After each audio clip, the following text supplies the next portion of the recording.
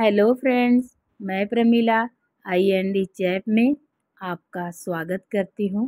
Friends, आज हम बनाएँगे नया नाश्ता और उसके लिए हमने ये दो बॉयल करके आलू लिया है, आलू को ग्रेट कर लिया है। जब भी इस नाश्ते को आप बनाना फ्रेंड्स तो आलू को ग्रेट करके ही लेना। इससे क्या है, इसकी गुठलियाँ वगैरह बिल्कुल भी ख़त्म हो जाती है। तो इसके अंदर हम डालेंगे चार चुटकी हल्दी चार चुटकी हम डाल रहे हैं लाल मिर्च पाउडर। मिर्च पाउडर अपने टेस्ट के अनुसार लेना फ्रेंड्स कम या ज़्यादा। चार चुटकी गरम मसाला। तो फ्रेंड देख पा रहे होंगे, ये हमने चार चुटकी जीरा लिया है। मतलब आधा टेबल स्पून से भी कम लिया है। और धनिया टेस्ट के अनुसार नमक लिए हैं। तो इसे क्या करना है, हाथों से ही मिला लेंगे अच्छे से सारे मसाले और आलू को। ये हमारा स्टफिंग बन के तैयार हो जाएगा। इस तरह से मिलाना है फ्रेंड्स। इसके अंदर देख पा रहे होंगे, बिल्कुल भी मॉइस्चराइज़र नहीं है। बिल्कुल सूखा सूखा ये दिख रहा है आलू। इस तरह से अच्छे से मिला लेना है। इस तरह से आप पराठे भी बना सकते हो फ्रेंड गर्मियों में। बिल्कुल भी आपका पराठा टूटेगा, फटेगा नहीं। अगर आलू का पराठा इस तरह से आप स्टफिंग बनाओगे तो। एक हमने रख लिया कढ़ाई चूल्हे पे। इसके अंदर हम डाल देंगे एक गिलास पानी। पानी को डाल के गैस को जला लेंगे और एक जाली रख देंगे। पानी को कवर कर देंगे। कवर करके ही हमें पकाना है, यानी गरम करना है। तो फ्रेंड, ये हमने लिया है गूथा हुआ आटा। ये जो रोटियाँ हम बनाते हैं, वही वाला आटा है जो बच गया है। तो हमने इस तरह से एक लोई रोटी वाला उठाया और इसके अंदर डाल दिया। देख पा रहे होंगे, हमने एक अच्छे से इस तरह से बना लिया है। अब इसके अंदर जो हमने स्टफिंग बना के तैयार किया हुआ है, देखो कितना गहरा से है। इसके अंदर दो टेबल स्पून आप अच्छे से भर सकते हो। तो फ्रेंड, देख पा रहे होंगे आप, इस तरह से आप नया नाश्ता बना सकते हो। तो हमने देखो, ये लिया एक टेबल स्पून और एक टेबल स्पून और डालिए इसके अंदर। अब इसे क्या करेंगे, अच्छे से हाथों से बंद कर देंगे। इसी तरह से सभी को एक एक करके भर लेना है फ्रेंड्स आप देख पा रहे हो, आप स्पून से इस पर डिज़ाइन भी बना सकते हो। तो आप देख पा रहे हैं कितना अच्छा से ये भर के तैयार हो गया है। तो हमने एक इडली स्टीमर ले लिया है। कढ़ाई के अंदर रख लिया था और गरम कर लिया है फ्रेंड्स एक एक हम जो भर के गुथे हुए आटे का हमने भर के तैयार किया है, अब इसे कवर करके इसे हम चार मिनट तक पका लेंगे।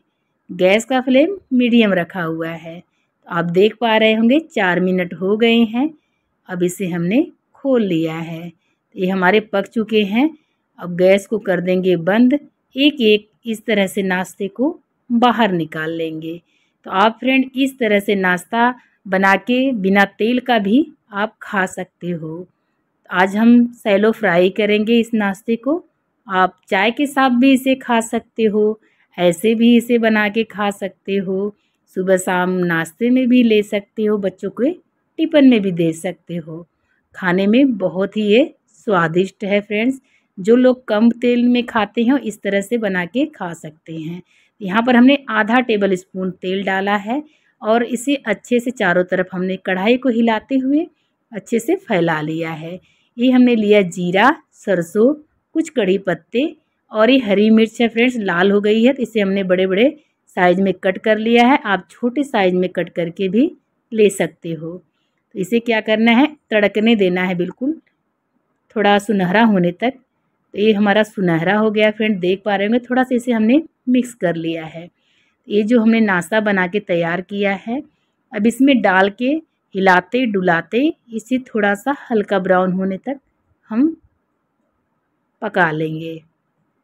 तो फ्रेंड देख पा रहे होंगे। बहुत ज़बरदस्त नाश्ता है। आप इस तरह से इस नाश्ते को बना के इंजॉय कर सकते हो चाय के साथ।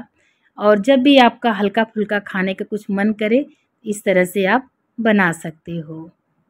तो देख पा रहे होंगे फ्रेंड्स ये नाश्ता भी हमारा खाने में बहुत स्वादिष्ट है। अगर ये नाश्ते की रेसिपी आपको अच्छी लगी हो तो चैनल को लाइक सब्सक्राइब और अपने दोस्तों के साथ शेयर ज़रूर करना फ्रेंड्स, और अपना साथ, सपोर्ट, अपना प्यार हमारे साथ बनाए रखना। अगर आप अपना साथ और सपोर्ट हमारे साथ बनाएँगे, तभी हम आगे बढ़ेंगे। आपके साथ नई नई कुछ अलग अलग रेसिपी आपके साथ शेयर करेंगे। तो फ्रेंड, आप देख पा रहे होंगे, आप इस नाश्ते को मिनटों में बना के तैयार कर सकते हो। जितना ये नाश्ता देखने में अच्छा है, उतना ही खाने में है। बनाना भी बहुत आसान है। एक बार हमारे तरह से ज़रूरी नाश्ते को बनाना फ्रेंड्स, और कमेंट करके हमें ज़रूर बताना ये नाश्ते की रेसिपी आपको कैसी लगी। तो फ्रेंड्स, बनाना, खाना तभी हमें आप कमेंट करके बताना नाश्ता हमारा कैसा बना है। तो हम चाकू से कट करके भी आपको दिखा सकते हैं। फ्रेंड देख पा रहे होंगे हमने कैसा बनाया है, नाश्ता कितना भर के तैयार हुआ है, आप इसे चटनी के साथ, सॉस के साथ या बिना चटनी या सॉस के भी साथ इसे आप खा सकते हो। खाने में बहुत स्वादिष्ट है फ्रेंड्स।